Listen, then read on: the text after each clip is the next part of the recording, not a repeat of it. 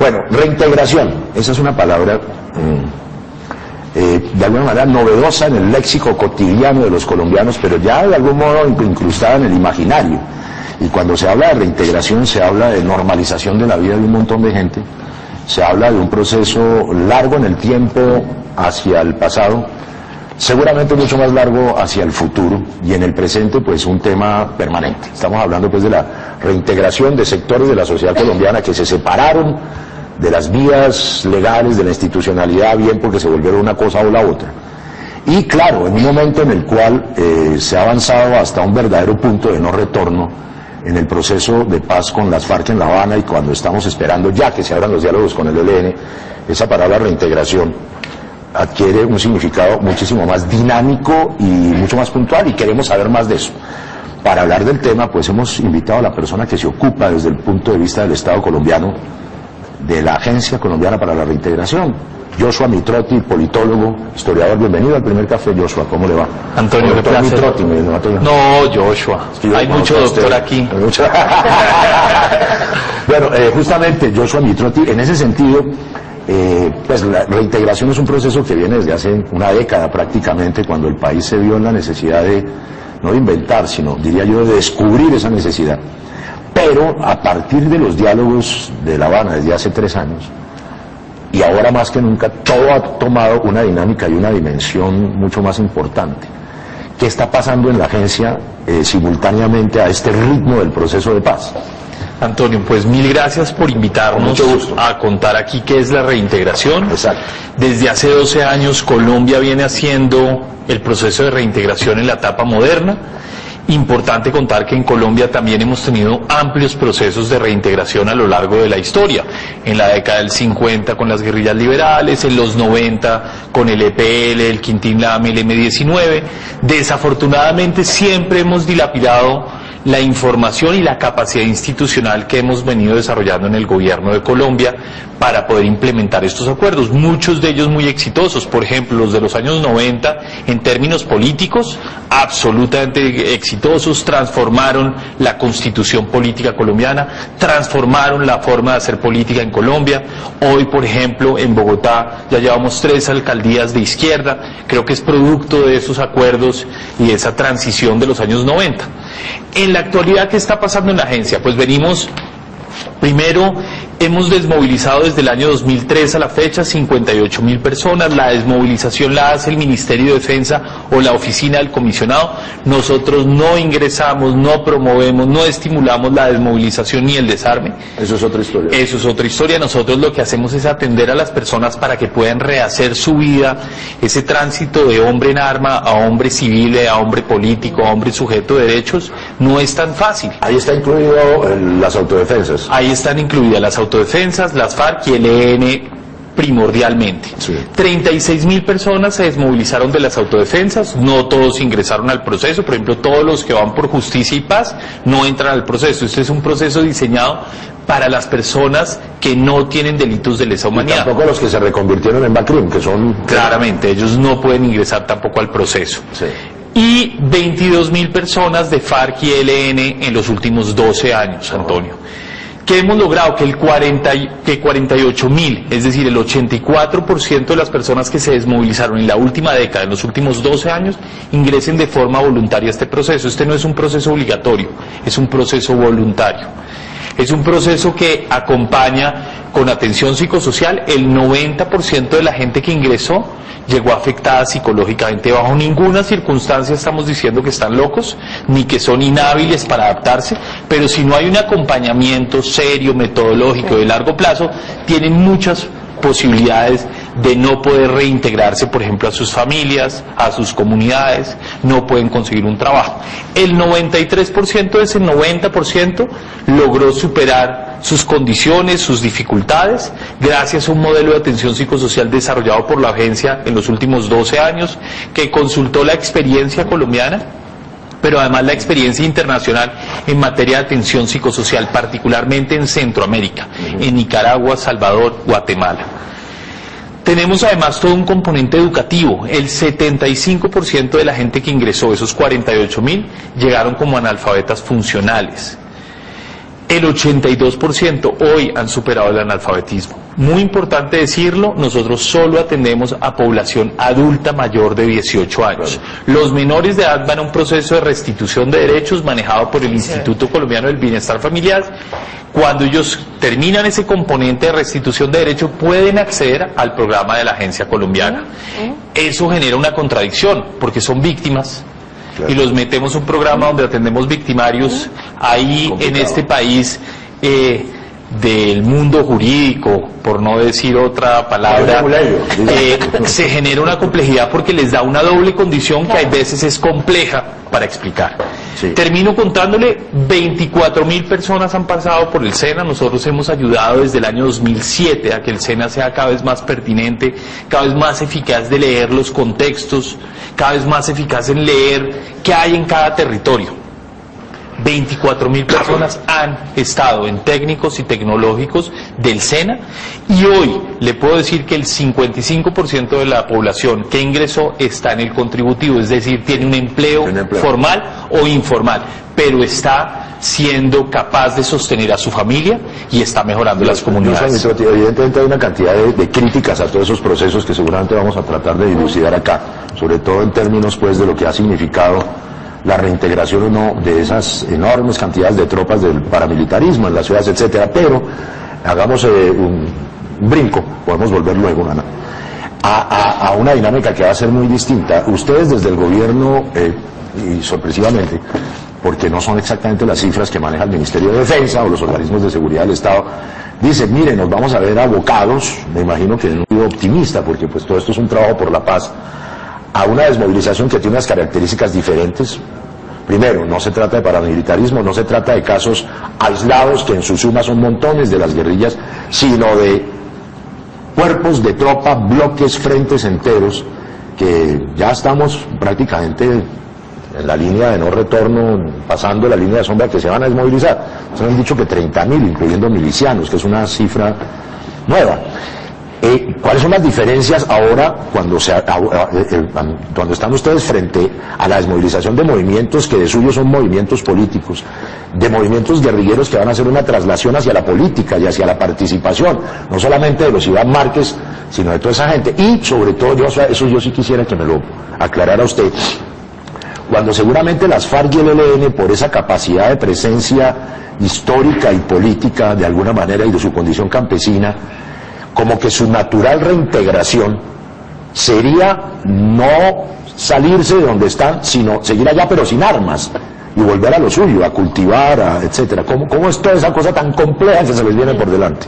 Antonio, bueno, primero establecer los números siempre es complejo. Sí, ¿no? Eh, no solo en Colombia, sino a nivel internacional uno detecta, por ejemplo, que un arma viene con dos o tres o cuatro hombres. Es decir, no solamente uno tiene que contabilizar a los hombres en armas, sino también a las estructuras de apoyo. En el caso colombiano, lo más reciente es el paramilitarismo, donde se intuía que eran 12 mil personas, terminaron desmovilizándose 36 mil personas y entregando 17 mil armas. Es decir, casi un hombre eh, un arma por cada dos hombres. En el caso de las FARC y el ELN, inteligencia militar plantea que son 6.500 a 8.000 hombres para las FARC en armas y 2.000 a 4.000, 3.500 para el ELN. Es decir, si mal contados eso nos daría más o menos 12 mil hombres en armas. Ahora, tendremos que saber cuántos son las estructuras de apoyo que van a entrar a un proceso de normalización, de reincorporación. Porque si los deja uno en el territorio, probablemente esas estructuras tienen la capacidad de reproducirse, el narcotráfico, la minería ilegal, el contrabando en Colombia no va a desaparecer. La propuesta es sacar a los campesinos, que los guerrilleros que fueron campesinos de sus propios sitios y trasladarlos, no. No, ah, la propuesta, además en eso también quiero plantearles, nosotros desde el gobierno nacional y desde la agencia nos venimos preparando mucho en entornos controlados, sobre todo para zonas rurales, zonas donde ellos históricamente han estado. Venimos trabajando con algunas empresas, con algunos gremios, con el SENA, particularmente para ver cómo podemos llevar oferta pública al territorio sin tener que desgastarnos en generar unas infraestructuras gigantes, porque al principio pues podrán ser 6.000 personas, pero después a la larga ya no vamos a necesitar colegios para 6.000 personas, probablemente con colegios para 200 en muchos lugares de Colombia funciona. Entonces lo que estamos haciendo es todas unas etapas de innovación desde la reintegración, desde lo que venimos haciendo y plantearlo el último punto que es todo el tema de dejación de las armas y terminación del conflicto, tendrá que abordar el tema de la reincorporación y la normalización. Y en ese marco también lo quiero decir, desde la agencia somos conscientes que en Colombia no estamos negociando la rendición de las FARC, estamos negociando un acuerdo político para darle término a 50 años de conflicto. Eso implica que desde reintegración también estamos en plena capacidad de innovar, de reinventar y hacer una reingeniería del programa para realmente materializar los acuerdos. Muchas de las personas dicen, Antonio, que es muy fácil, muy fácil acordar la paz, muy difícil cumplir los propósitos y los acuerdos. Desde la agencia lo que hemos logrado hacer es eso, es cumplir el acuerdo para las personas que dejan las armas, mantener una estabilidad jurídica, una estabilidad económica, una estabilidad política para que estas personas tengan unos entornos que faciliten el retorno a la civilidad, al juego democrático. En ese marco la agencia está comprometida. Decirles cómo lo vamos a hacer dependerá del acuerdo. Tenemos seis meses para abordar todos los temas como la dejación de las armas, la reincorporación o la normalización como a las FARC le gusta que lo llamemos. Además porque tienen razón, ellos vivieron durante mucho tiempo en unas zonas donde ellos eran en el Estado, Pues donde ellos reglamentaban la- las, las conductas humanas, pues ¿cuál reintegración? No, es una Pero, normalización. eh, eh, eh, Joshua, ¿usted conoce los 75 puntos a propósito de esa espera que hay que darse? No, señor, yo Ah, bueno. conozco el acuerdo, que conocemos el todos. comunicado, pero yo creo que es muy importante conocer los 75 puntos para saber con qué claridad ¿Qué van a hacer hacia ustedes? adelante vamos a contar. Pero Joshua, para hacernos una idea, hasta ahora, ¿cuál es esa ruta de atención para la gente en armas? ¿Cuál es esa transición que implica? Acompañamiento psicosocial, alfabetización en los casos que sea necesario, educación por parte del SENA, otras cosas, ¿algo más? A ver, mira, la ruta dura seis años y medio, es de las rutas más largas que se han diseñado en el mundo entero. Hoy somos uno de los programas pioneros a nivel mundial. Sí. Naciones Unidas, Banco Mundial, diferentes países centroamericanos y africanos y asiáticos vienen a ver el proceso colombiano. Arrancamos con un acompañamiento y una estabilización de 30 meses hasta por 30 meses de acompañamiento psicosocial. Eso incluye a las familias, incluye a los hijos y puede incluir en ciertas eh, necesidades a las comunidades receptoras. Las comunidades receptoras no son comunidades ricas, sino son comunidades vulnerables, en extrema pobreza, con unas condiciones de riesgo grande. Segundo tema, atención en salud. El 100% de la gente que deja las armas tiene cobertura en salud. El 55% producto de los avances de la reintegración están en el contributivo, es decir, hoy tienen un trabajo, bien sea formal o informal. Tercer tema, educación. Educación para adultos. Hemos desarrollado de la mano con un instituto holandés que trabajó muchísimo en Centroamérica un modelo de alfabetización para adultos derivado de contextos de vulnerabilidad y de pobreza. ¿Por qué? Porque la metodología CAFAM que es muy exitosa en Colombia, funciona particularmente para ancianos, señores de la tercera edad, venidos de contextos rurales. Pero no es el caso con la desmovilización. En la desmovilización, contrariamente a lo que creemos, también hay muchos actores vinculados desde las ciudades. Muchos jóvenes, el 95% de nuestra población tiene menos de 55 años, es decir, es población joven. Tercer componente o cuarto componente, todo el tema del técnico o tecnológico con el SENA ha sido muy eficiente. Hoy generamos oferta pública que no existía en 860 municipios del país.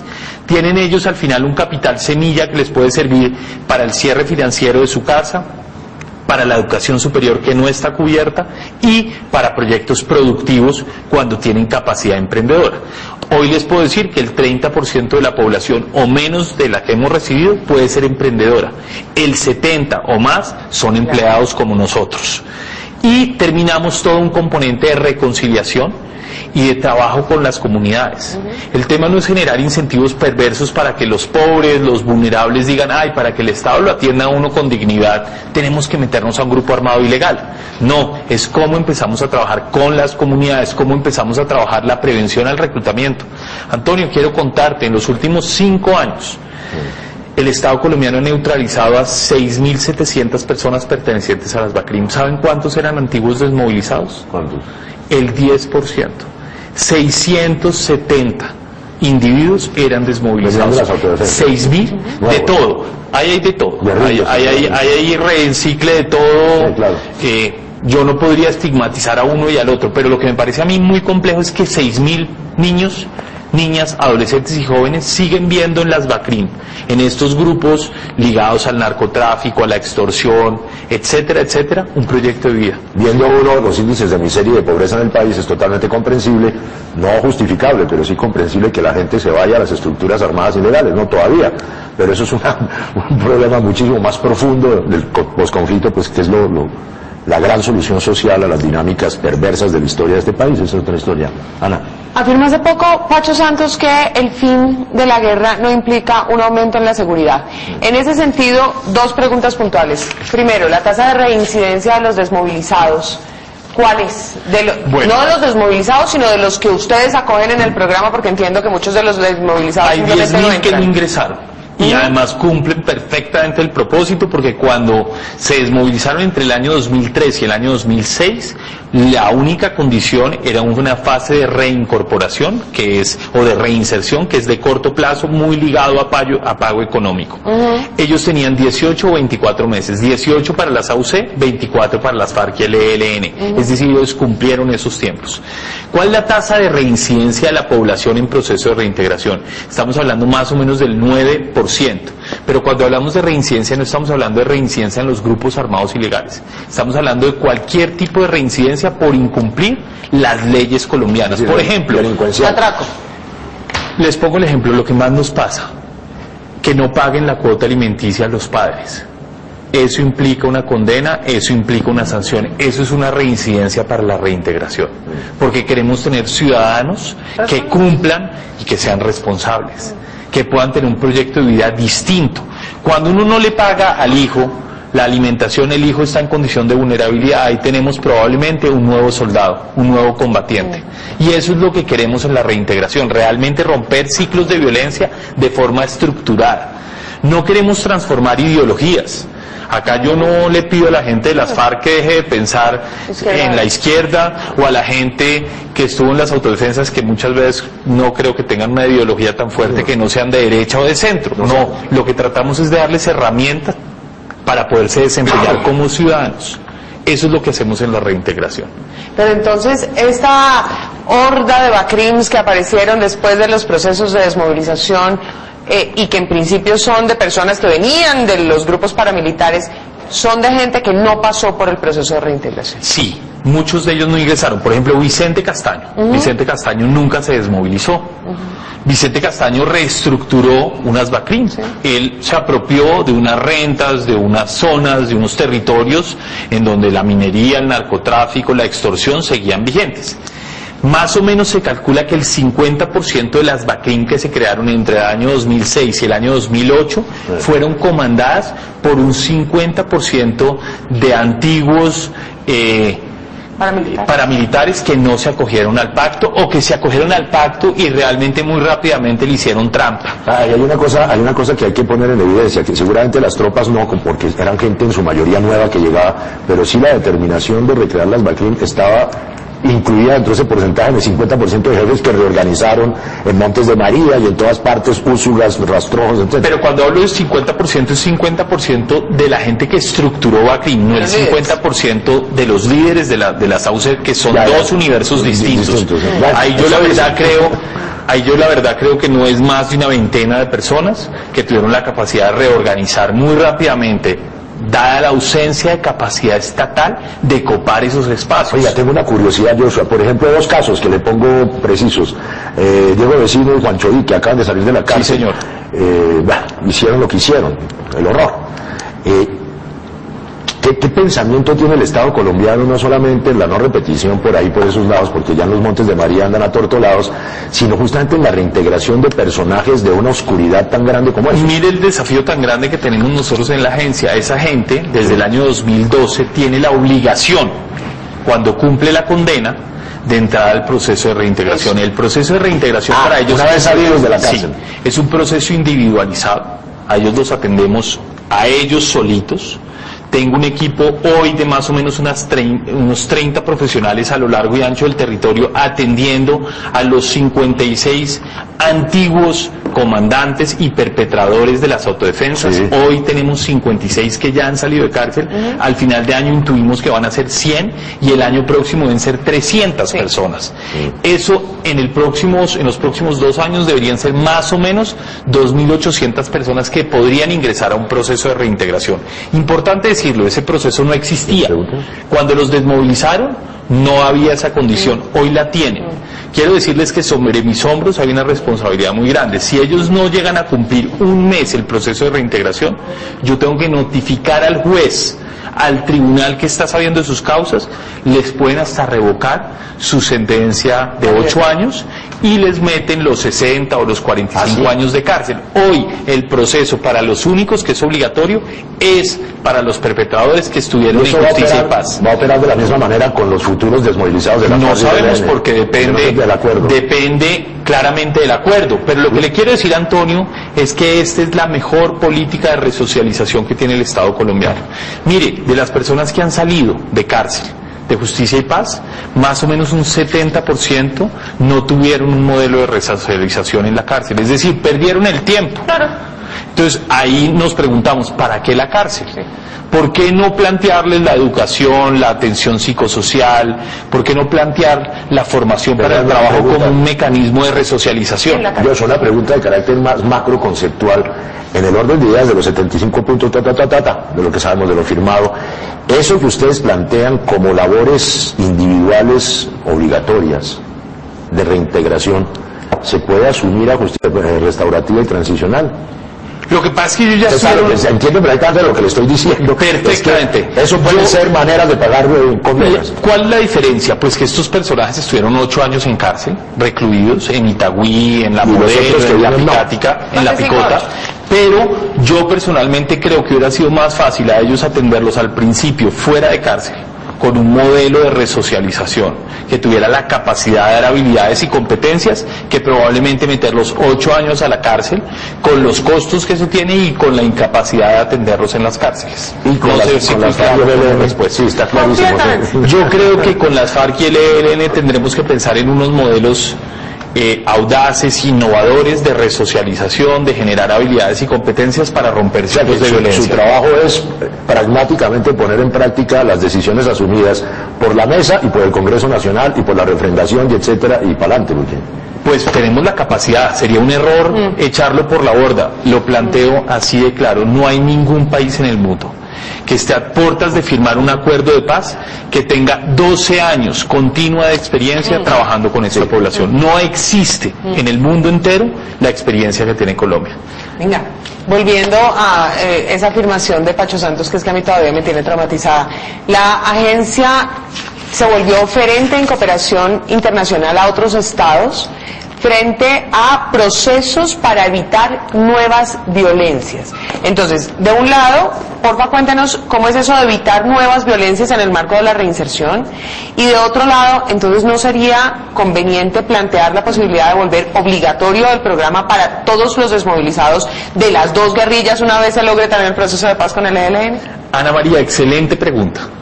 Mira, nosotros venimos haciendo un esfuerzo grande con Centroamérica, particularmente Guatemala, Honduras y El Salvador. Yo ya he ido tres veces este año, viajo eh, en los próximos días por invitación del ministro de la Presidencia de El Salvador. Vamos a implementar un modelo de reintegración para lograr reducir temas de violencia de las maras. Eso es una estrategia que creo que tiene toda la lógica. 36 mil personas no se pueden meter a la cárcel. Ese es el desafío que tiene hoy El Salvador. Supuestamente tienen entre 15.000 y 36.000 hombres que hacen parte de las maras, que están haciendo un problema enorme de seguridad y de convivencia Mm. ciudadana. El Salvador es el país más violento del mundo y quieren implementar un modelo de fortalecimiento de la justicia donde se sometan a los líderes, pero también darle una posibilidad de resocialización con el proceso de reintegración colombiano para las tropas, para transformar esas habilidades y competencias de los jóvenes que están en estos grupos y que tanto daño le están haciendo. Eso se puede lograr. Y eso se puede lograr con el proceso de reintegración. Quiero contarte, esto arrancó en la ciudad de Medellín con el programa Paz y Reconciliación, un programa que atendía a combos, a pandillas. Y con este enfoque lo que trataban de hacer es darles oportunidades para sacarlos de entornos de violencia, mostrarles que el deporte, la cultura, el arte, entre otras manifestaciones, podían realmente ser un proyecto de vida en la legalidad. Y eso es lo que hacemos en reintegración, es generar una oferta sensible, humana, adecuada, pertinente, para poderle dar unos referentes a estas personas que estuvieron condenadas a la violencia y a la ilegalidad desde muy jóvenes. Eh, en todo este proceso que no podríamos decir que es un interés, y creo que ya todo el mundo se está poniendo de acuerdo, salvo los refractarios pues de la ultraderecha, que eso es otra historia, que no podríamos decir que es solamente un proceso de paz. Mondo y Lirondo, y no es solamente una desmovilización de unas guerrillas, sino es, no es solamente una reintegración justamente de tantos individuos y sectores colectivos a la, a la vida nacional, de la normalidad, de la no violencia. Eh, no es solamente un proceso de paz, ¿en qué sentido? En el sentido de que es un proceso de largo vuelo moral y ético y social, que ya es el último punto distante. Sí, el referente último son las transformaciones sociales que dependerán de las fuerzas políticas que resulten de todo esto y que ya veremos qué dice la democracia. Pero hay una etapa anterior, eh, Joshua Mitrotti, que es interesante de hablar con usted desde su punto de vista de la reintegración y es una, una dinámica que ya ciertos sectores de avanzada de la sociedad colombiana están poniendo como ese punto no final, pero sí un poco adelante, que tiene nombre, pasa por una cosa que es el perdón, pero la frase, la palabra fundamental es la reconciliación. Es decir, que los esfuerzos que estamos haciendo todos los colombianos de uno y del otro lado, de todas las tendencias que estamos por la paz, es reconciliarnos para que en el futuro pueda haber una sociedad mejor o simultáneamente. Entonces, en el caso, por ejemplo, de lo que viene de la reintegración y de lo que, y de lo que va a venir después, de lo que ya venía y lo que va a venir, donde hay gentes que se sienten, seguramente usted es el primero en saber lo que eso pasa así, que son victimarios pero que se sienten víctimas o víctimas sociales o víctimas también de los que reaccionaron a la guerra con la guerra ojo por ojo, diente por diente, la, ley del talión que tanto nos perturba. Esa reconciliación, y qué rollo el que me eché, y ese, esa forma de ver el perdón en el sentido de la construcción de una sociedad moderna y democrática, ¿cómo la están viendo usted con quienes van a estar allá reintegrados? Bueno, mire, primero nosotros desde la Agencia Colombiana para la Reintegración sabemos que la reconciliación puede ser un propósito de política pública, el perdón no.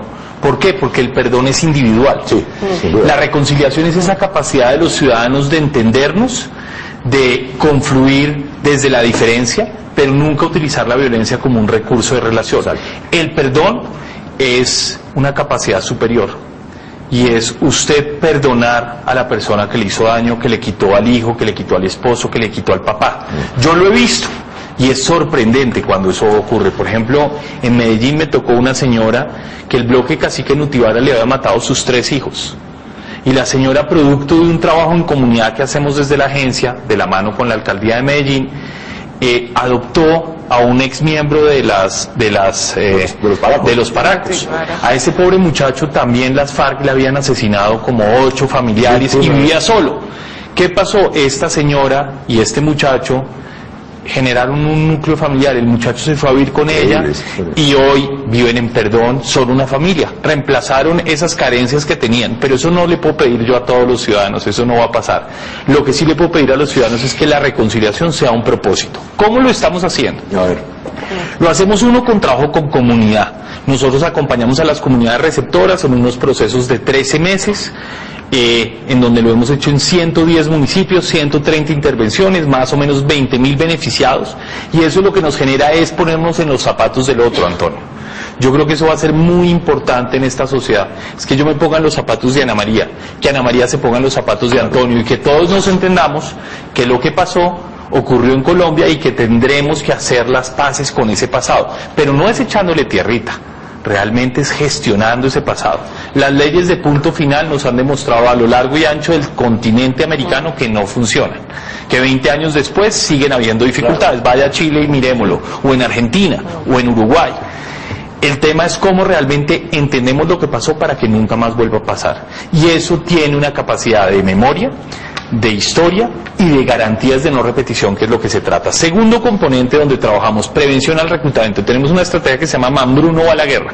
Trabajamos con las comunidades en donde los niños están siendo reclutados por los actores criminales en esta ciudad, por ejemplo. ¿Qué está pasando con los niños ahora que no están yendo al colegio y que van en la jornada de la tarde? ¿Sus papás dónde están? Esos niños están en los parques, en Ciudad Bolívar, en Bosa, en Usaquén, en muchas partes, para no estigmatizar a ninguna localidad, y son presas del microtráfico, de la extorsión. Arrancan a los 7, 8 años, los meten como campaneros. A los 15 son tremendos delincuentes, llevan 7, 8 años de profesionalización en el crimen. A esos muchachos les tratamos de dar una oferta a través del arte, la cultura. Y por último. Todo el tema del servicio social. Todos los desmovilizados que están activos en la agencia tienen al final del proceso que hacer un trabajo de 80 horas de servicio social con las víctimas, con la institucionalidad, con las comunidades receptoras, con las organizaciones de base que en algún momento le hicieron daño para restituir los derechos de esta sociedad y hacer realmente una gestión de ese pasado violento. Y eso usted nos imagina lo que nos transforma a nuestros desmovilizados, a las personas en proceso de reintegración. Pero además eso tiene un rol importantísimo, visibiliza la política de reintegración, por ejemplo, ante las instituciones públicas. Hoy trabajamos estructuradamente con 148 municipios y departamentos y 105 que no lo incorporaron en su política del plan de desarrollo, hoy están trabajando en reintegración. Yo Mitrotti, muchas gracias. Mire, no era nuestro propósito de ninguna manera entrar a controvertir, ¿no es cierto? Porque hay cosas que son controvertibles en el pasado, en el presente de lo que es la reintegración. Queríamos justamente eso, tener una mirada eh, optimista y fraterna de lo que piensa el gobierno nacional con respecto a semejante entelequia pragmática y teórica que significa la reintegración y hablar con usted y que usted no lo contara. Gracias. Muchas gracias, Antonio. Muchas gracias, Ana.